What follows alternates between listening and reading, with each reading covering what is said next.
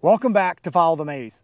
Today I'm out evaluating the corn plants to see what growth stage we're at and to see if there's any disease or insects or anything else that may hamper our yield potential.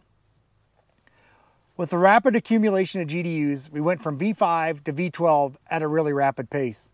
During this growth stage, it's really important to keep these plants as healthy as possible because we're determining our potential number of kernels per row. Kernels per row is a very key important aspect of high yields. We want to maximize that ear potential. We want to ensure that we have every kernel possible to be able to pollinate here in the next couple of weeks.